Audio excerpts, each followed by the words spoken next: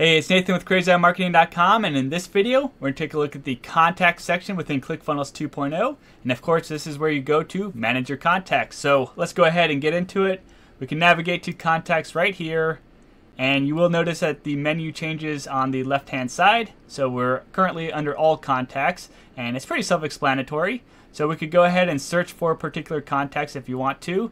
Additionally, you could go ahead and sort by different information. So you could sort by lifetime value or name or when they signed up and so on. Additionally, you could go ahead and filter your contacts. So you could create a filter and you could look for people that have enrolled in a course or own a product or something else. So you can filter your contacts in addition to sort them. At the very top, we have an option to import. So you could go ahead and import your list from some other email marketing tool, like you could import from ActiveCampaign or Aweber or MailChimp or whatever email tool you may be using. And also you could go ahead and manually add contacts if you want to. So you could go through and fill out a form and add them to your contact list. Now here's a list of all the contacts we have and you could go ahead and you could do some bulk actions right here. So we could go ahead and enroll them or tag them or export them or run a workflow on them. So sometimes you might want to create a filter for people that meet certain criteria and then you could bulk edit all those individuals that meet that criteria and add them to a course or something to that effect or send them into a workflow. That's just a good way to go ahead and manage your contacts in bulk but what we want to do is look at one individual contact. So we'll go ahead and click on their name and it pops up this quick edit section and you can see that you could just get an overview, billing, enrollments, orders, and so on. But what I want to do is go to view full profile because there's more options and info in here. And I want to be able to cover everything with you in this video, so that's why we are in here. So here's an overview now of our customer and you could go ahead and edit them if you want to. Additionally, you see the option for shipping addresses. So if you need to add shipping address, you have payment methods right here and you could add a new payment method. So maybe your customers call in and want to give you their credit card information over the phone. You could go ahead and plug it into their profile right here. Also, there's this option here for credit memos. And so this could help you keep track of when people return products or chargebacks or anything like that. And this can help you keep track of how much money you have returned to the customer. So let me go ahead and just plug in $10 and update credit memo. And I actually received an error message because this customer hasn't actually paid any money, so I can't give them a credit. But anyway, coming over, we can see a list of all the activity that the individual has done here. And you see the option to also add notes if you want to keep track of these particular customers and how they're engaging with your funnels and website.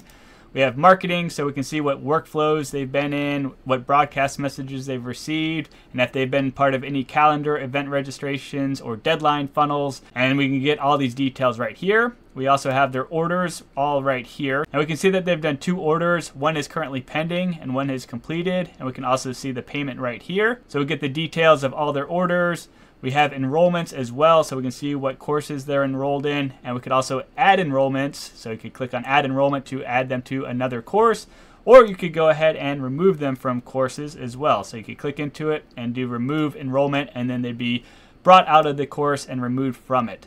Finally, we have fulfillments and assets. So if you're shipping them products, you would get a list of their fulfillment history right here. And also, if you give them asset access when they purchase a product, so maybe you send them a PDF file and they have access to that asset, well, then you would get a list of all their assets that they have access to in this area. Let's come back up to the top here. So we can see that this person is a member, meaning that they have an enrollment in one of our courses. Also, they are a customer because they have done an order. So they have two orders with us and their lifetime value is $10.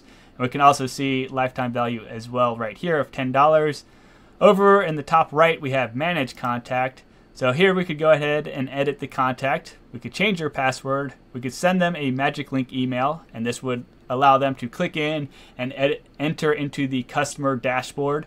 We could unsubscribe them from various lists if we want to do that from their profile. Also, we could go ahead and just delete them completely from our ClickFunnels account, and that way we satisfy any laws or regulations that you know you might be up against. But hopefully you're not doing anything sketchy anyway. But if you need to delete someone, this is where you would go ahead and do it. And that is it for editing the contact. Let's come to contact tags. So this would be how you can keep your contacts organized and or you could go ahead and trigger workflows with these various tags, create filters and segments based off of different tags and tags can be used in a lot of different ways but this is where you could go ahead and manage those various tags and you can also edit them as well which would simply be changing their name and you could go ahead and add a color as well just to keep things organized on your end. But tagging can be very powerful depending on how you use it. Anyway, moving on to segments here. Here you can create segments, which is a filtered group of contacts, and typically you would use them in broadcasts. So let's go ahead and create a new segment real quick. And I'm going to go ahead and create a segment of people that have joined one of my courses. So we'll say ClickFunnels 2.0 course members. And I'll go ahead and create a filter here and then I wanted to go ahead and select anybody that is enrolled in course ClickFunnels 2.0 course and you can see that there's more options here so we could do an and statement or have an or statement depending on the particular criteria and customer you're trying to reach. But I'm going to leave it how it is and we'll do create segment. And now if I click on this segment, I will see all the members that have enrolled in my ClickFunnels 2.0 course. So I have two members currently in that course. And finally, we have contact attributes. So this would be if there are custom fields that you want to go ahead and keep track of for your customers. We could go ahead and do that. So let's go ahead and add new contact attribute. And for whatever reason, let's just say I want to keep track of people's eye color. So I could go ahead and add that label label right there. And we could also select the field type. So we have a text field or a select field. So you could give people set options like blue, green, brown, other. And we could go ahead and create the field then. And now if we went back to one of our contacts, so let's come back out here and we'll click into this contact here and I'm going to go ahead and view their full profile. I can now see that there's an option for custom attributes right here. So I'm going to go ahead and click on edit and hit the drop down, eye color, and then I'm going to select eye color green and save attribute. And so now I'm tracking this individual's eye color. And so if there's custom information that you want to go ahead and track about your customers that's how you can go ahead and do it by adding different attributes. And that is pretty much it for managing your contacts. Hopefully you found this video helpful. If you did I appreciate any sorts of likes comments subscribes and or head over to crazyeyemarketing.com for more marketing material. Otherwise I hope you have a great rest of the day